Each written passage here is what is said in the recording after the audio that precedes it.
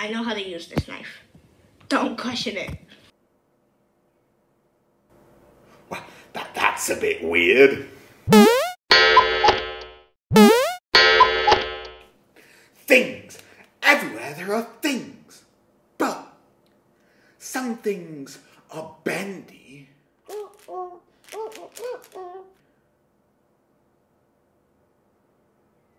Some things are brittle.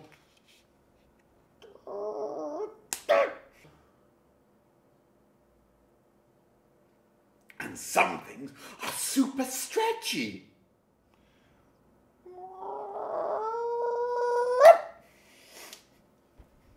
Have you ever wondered why things are brittle, stretchy, or bendy?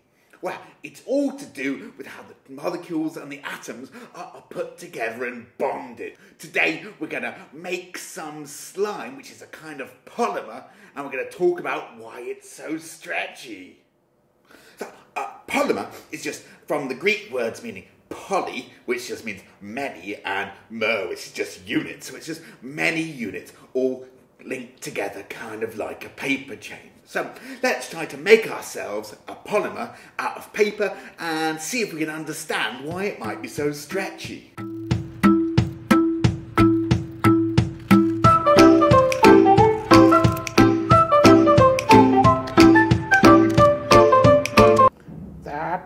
Between chains are strong. It is brittle.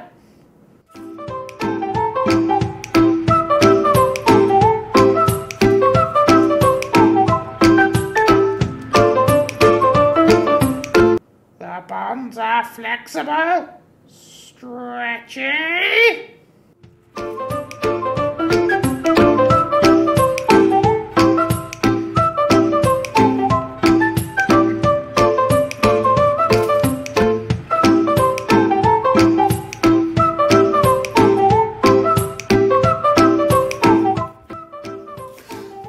First polymer here, look.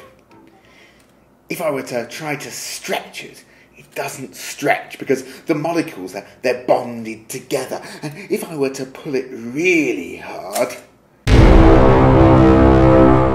it would just break. This next polymer has weak bonds between the chains. So these interlinked bonds between the chains, look, means that when my chains try to move apart, they stretch. And then, partly because of these bonds and partly because of entropy, when we let them go, they go back into a disordered state and flip back, just like our rubber band. Here, I have two chains of polymers, but they're connected together with quite strong bonds. Here, if I were to try to pull them and stretch them, they wouldn't stretch. This is about the structure of these molecules. This is why, if you have plastic or a polymer, like your light switch, it doesn't really bend. Whereas if you have a polymer like a rubber band, it is really stretchy. Ooh, teacher, teacher, it's time for an experiment, teacher. So first we're going to st- put in half a cup of glue.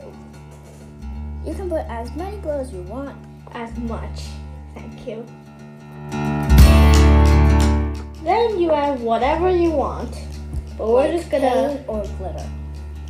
uh but we're just gonna do that stuff or normal paint. Acrylic color or normal. Acrylic color is a bit different than normal Okay. because it's a bit more hard and stuff.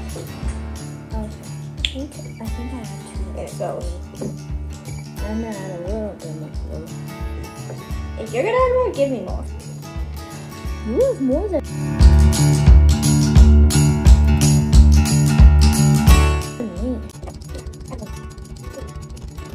I think three drops